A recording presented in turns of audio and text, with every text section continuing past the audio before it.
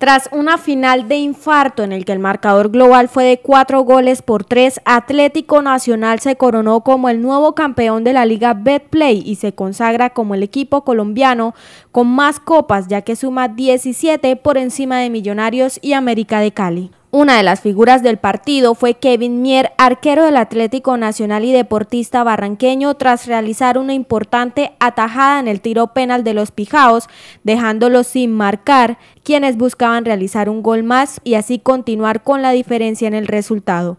Giovanni Moreno, figura del verde de la montaña, halagó el trabajo realizado por este joven arquero. Bueno, lo, de Kevin cuando yo llego acá hay una situación muy incómoda con el, con el tema de Aldair.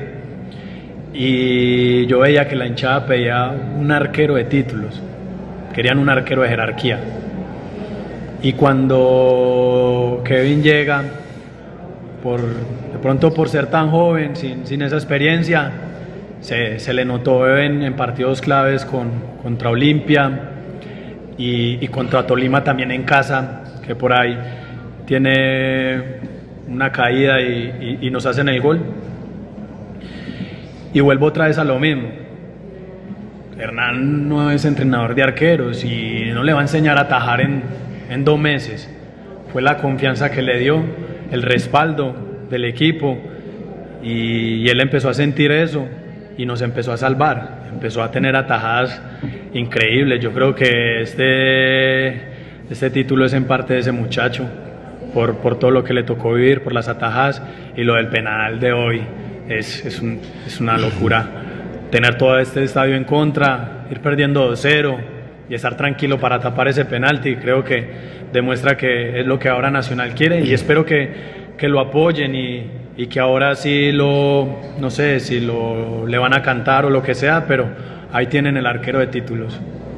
De igual forma, Hernán Darío Herrera, director técnico del Atlético Nacional, contó cómo descubrió a Kevin Mier y lo importante que ha sido el arquero más joven de la liga en el equipo. Me siento muy contento, me siento muy contento porque eh, lo de Mier, eh, eh, como le digo, he repetido muchas veces, eh, nosotros fuimos a jugar un torneo Bucaramanga de las menores de Nacional y, y descubrimos a Mier.